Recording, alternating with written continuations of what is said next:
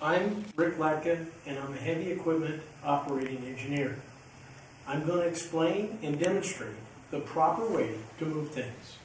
Number one, I'm going to make sure that the path is clear from here to here. Number two, I'm going to size up the load. Do I need a dolly? Do I need some help? Or can I do it myself? Number three, I'm going to grab it on one knee. Number four, I'm going to put my butt up and I'm going to push back.